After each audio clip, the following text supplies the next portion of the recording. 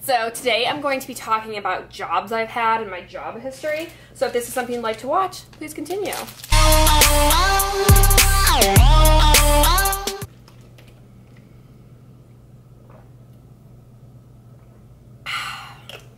All right, you guys will have to excuse me. I just took a shower. Um, yeah, so my hair is all like frizzy and crazy. And I haven't eaten, so I'm like trying to eat something right now. Um, but I wanted to film a video for you guys really quickly. So I had asked on Snapchat maybe like a week ago if you guys had anything you wanted to know about me. And I got a lot of really great feedback. And somebody had asked, sorry, I'm like, somebody asked like about my jobs, like, you know, like where where have you worked? What have you done? Like tell me about your job. So I'm like, that's a really like awesome question because I don't think I've ever actually talked about like my job history with you guys. So first of all, I always wanted to work. Like I like really liked being around people. You know how when people would play like house or something or like school, I would never want to play house or school. I'd want to be like, I want to be the um, the lawyer or I want to be the executive or I'm the CEO of this company and you know like that's what I would want to play when I was little. So I always really loved um, stuff like that. And my mom is, my mom went to Harvard. My mom's like a really strong businesswoman. So I kind of grew up, or not kind of, I grew up watching my mom kind of being a tiger. Like, you know, being on the phone and like being very, my mom still is like that, but my mom being, you know, her like her own boss and everything. So, and my mom being a very strong, you know, like woman. So that's I grew up seeing that. So I grew up not wanting to play like house or play school teacher. I grew up wanting to play CEO. So I wanted to work so bad. And there was this store in the town that I grew up in and I wanted to work there so bad and I used to go in there I was like 12 and I'd be like hey can I get a job and they'd be like no you have to be like at least 15 and a half you have to be 15 you have to be 15 I was up being like 15 so my very first job I ever got was at the skateboard store and it was at this mall near where my parents live in Massachusetts and I had never really skateboarded before I didn't know anything about skateboarding. And it was this special type of skateboard that it was a skateboard and then it was on kind of like a round like cylinder. So it was almost like a game and it, it was used for people who are practicing skateboarding inside, but it's also great for like kids and stuff.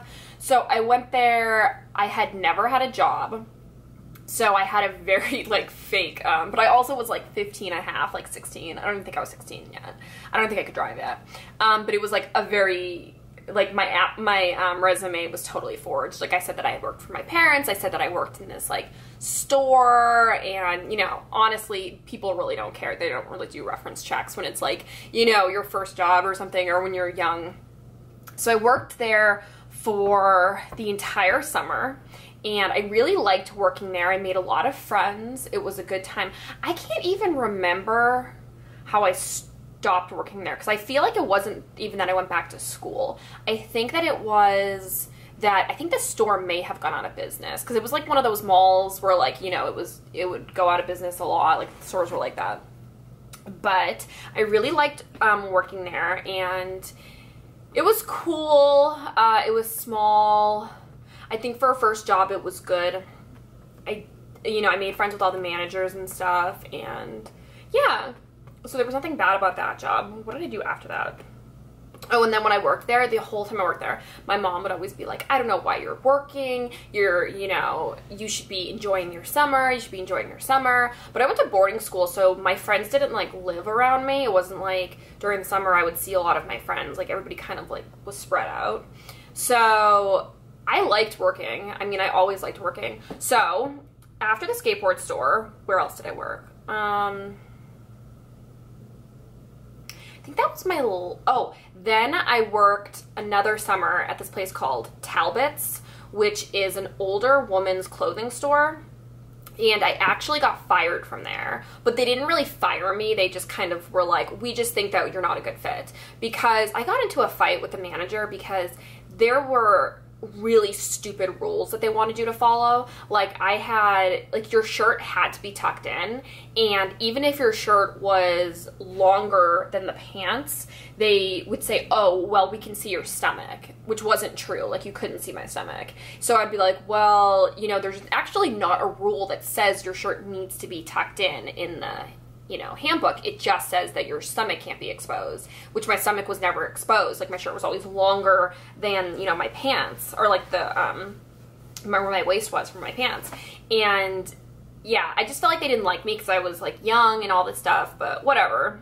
So I didn't work there. And then actually, once I got like let go from there, I went across the uh, street to Abercrombie and Fitch, where, as you know, you can wear like belly shirts. So I would wear um, like belly shirts, and they always put like the pretty people like in the very front. So I was always in like the super front. So I would like stand in the front with like my belly shirt, wearing flip flops, and be like wave to my old manager like. um, so I worked there and then when I went to college, I continued working at Abercrombie and Fitch. So I'm not sure exactly how long I worked at Abercrombie and Fitch for, but I, I, there was at one point where I just really didn't want to work there anymore because it was just like very catty, really long hours. You got paid really bad. I don't even remember how much I got paid. I think I got paid like seven twenty five or something. Um, but just really, really long hours. And I'm somebody that like if there's stuff to be done, I'll stay. So I found myself staying like later and later and later and being there like crazy hours, just like folding and folding. And there wasn't really much room for growth because I think that I mean, there was never anybody that told me like, oh, you could be a manager, an assistant manager, key holder, or anything like that. And I worked there for kind of a while. So I had left one college I was going to, and I had gone to another college. And when I went to that college, I worked at a store called Momo Berry, which was an upscale Hello Kitty store. And I was actually an assistant manager there. And I really liked working at Momo Berry. It was super fun. Um, the dress code was like you had to wear something pink, and like you could only wear pink and black, which was like fine because I love pink. And I loved the store. We had all these cool events. All the girls that worked there were super cool. It was really fun. Um, it was also really fun because I love Hello Kitty, so it was like working in like an upscale Hello Kitty store, and everything was from Japan was really cool. I I really enjoyed it. Like I loved working there. Some of the things that didn't sit right with me though is so I went to college for visual communications, and like that's what I have a degree in, you know, and so I'm really good at doing visual communications and doing store setups and store displays. I did a lot of stuff that was not in that I should have been paid a lot more for, but I wasn't paid for because I was technically I was, you know, clocked in so I was working. So she would like the main manager would put me um in charge of doing lookbooks so I would do all of these lookbooks, and at the time I was like, oh, this is so fun I'm doing lookbooks. But I really should have been paid like four times as much as I was getting paid for because I was doing a lot of work. So I was doing lookbooks. I also was doing photo shoots. So I was coordinating everything. I was also doing fashion shows where I was coordinating everything with like Lacoste and other companies. Um, so I did a lot of work that I was getting paid. I believe I was getting paid like 13 25 or something. So I was getting paid what I would have been getting paid normally, but I was doing like four times as much work. So there was at a point where I just was working one day a week because I was so busy with school and everything. And then they finally, um, she didn't really let me go. She was just like, if you want to work here more days, you would need to do that because like just working here one day a week like isn't working anymore. So I was like, okay, that's fine. So I gave up that job. I worked as a store manager at this uh, store called Gadzooks, and that was probably one of my most like my most enjoyable jobs because actually so this is kind of funny so when I first got hired at Gadzooks, I had this was like when emo and like scene was in. I had super short black hair. Like my hair was like I think three or four inches like all the way around. And I had my nose pierced on both sides, so I had hoops on both sides. And I would wear like crazy black smoky eye makeup and I would wear like black shirts and I was like super scene. You know, like I had like my hair like choppy cut and stuff. I wish I had photos of this because this was like when MySpace was around. And I mean, just like imagine the total scene pictures where it's like this, and I'm like, you know, with like my black choppy hair and stuff, and my my nose pierced on both sides. I was just like, I don't know. Um, but I went and I was like, "Hi, can I fill out an application?" So I filled out an application, and then I got a phone call that same day, and the girl was like, "Hi, yeah, um, so we are going to hire you. Could you come?" And I, oh, she's like, "Can you come in for an interview?" So I went in for an interview, and it was this pregnant lady. I I remember what she looked like, which was so funny. She had like red curly hair. She was pregnant.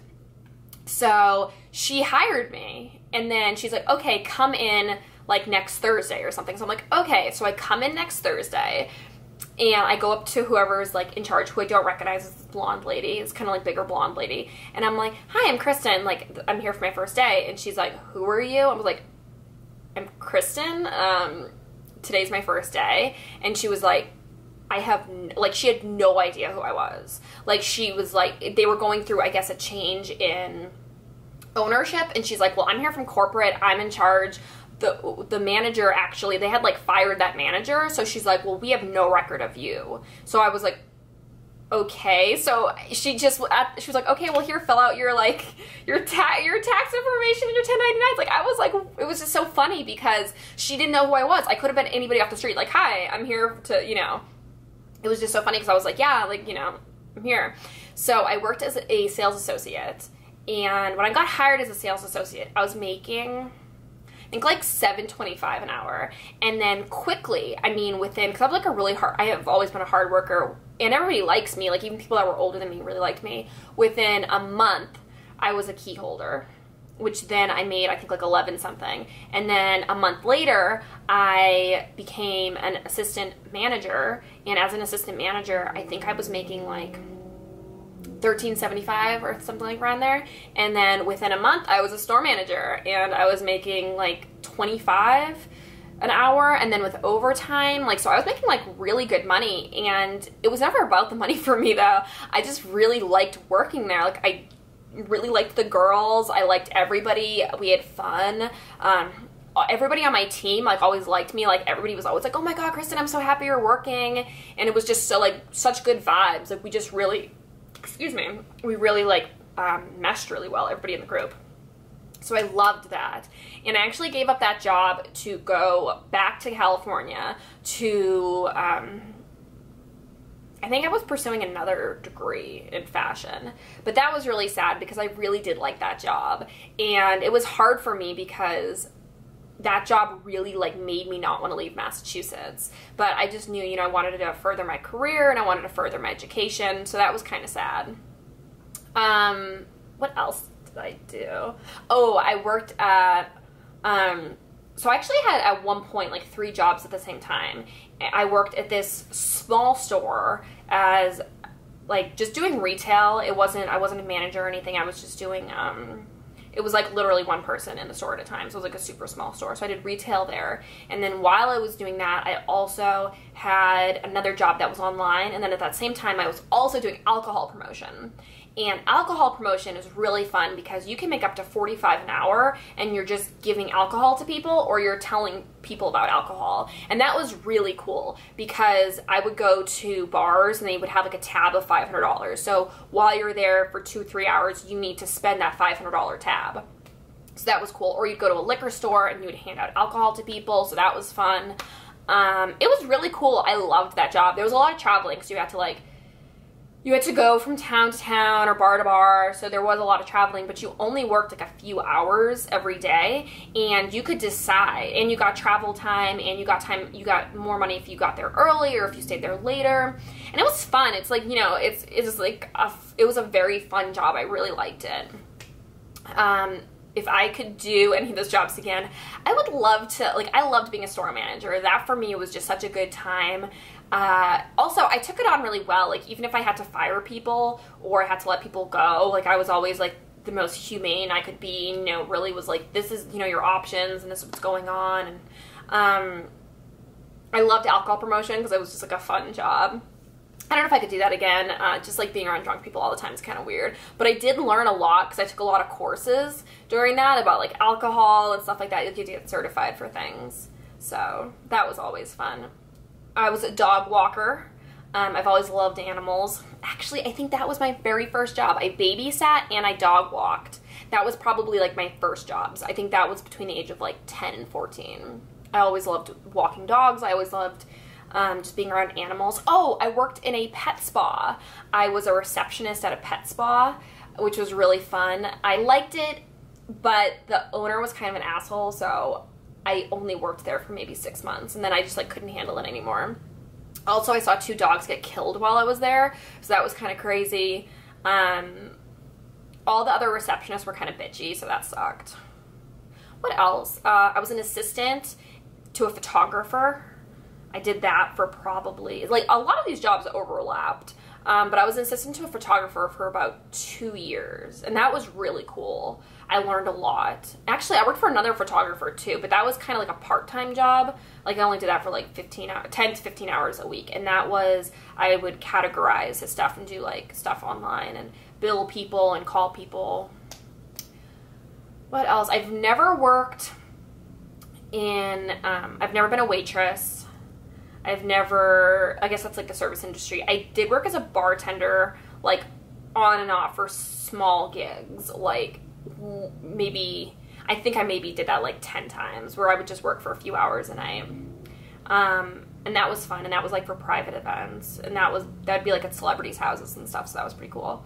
Um, trying to think is there anything else I did? I'm sure there's other stuff that I did that when I was in college, I I don't know if this counts because this wasn't really like I wasn't getting paid or anything, but I did um, intern for a bunch of different like fashion houses and for fashion companies, um, doing stuff for them and for fashion events or like things in that realm.